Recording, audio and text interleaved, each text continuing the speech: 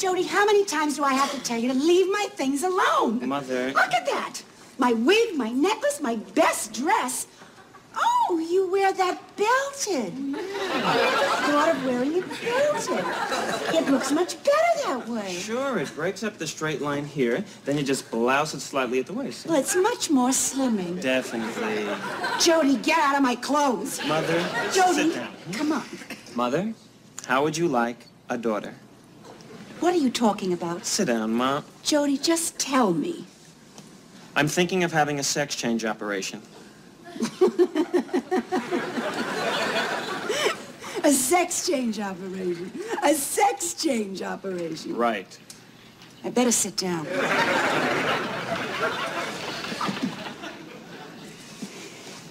By a sex change operation, do you mean a sex change operation? Mm-hmm. I spoke to Dr. Fletcher today. I'm not thinking about what I'm going to tell people, Jody. I couldn't care less. The thing is, I just got used to you being a... ho- Homosexual. I mean, I always thought you'd outgrow it, that it was just a phase. And now, when I'm finally used to you being a... Homosexual. You're going to get a sex change operation and be a girl? Jody, for God's sakes, what am I going to tell people? Oh, my God, I think I'm having a cerebral hemorrhage. I can feel it. Mother, just... I mean, you're casually going out and doing this thing like it was nothing.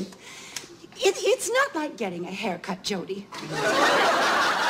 A major artery just went. Fine, in 10 minutes I'll be dead. I won't have to worry. Mother, Mom, listen to me. Mother, Mom, I should be a woman.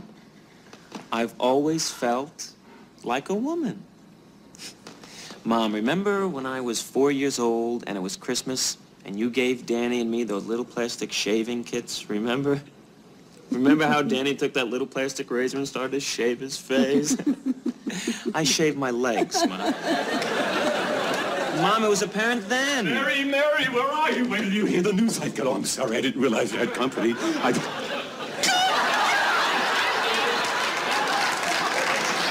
What the hell does he think he's doing? He's not going out dressed like that, is he? No, no, it's too chilling. I'll take a wrap. Bye, Burt. He's sick. So am I. He looks better in that dress than I do. My son. After 15 years, I'm going to be with my son. I'm, I'm so nervous. I need, I need another drink. Drink up, Captain. We move out at dawn. Gramps, World War II is over. This war will be over with the invasion of North